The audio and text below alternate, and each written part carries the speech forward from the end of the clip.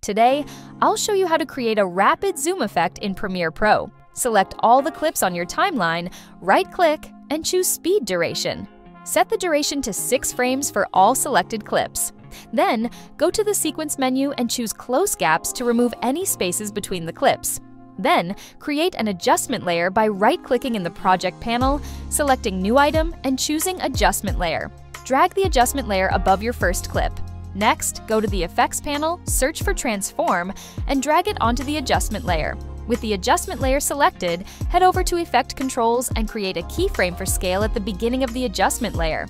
Move the playhead ahead and increase the value to 120, then place the keyframe at the end of the adjustment layer. To add smooth motion, uncheck Use Composition's Shutter Angle and set the shutter angle to 180. This creates a beautiful motion blur that enhances the zoom.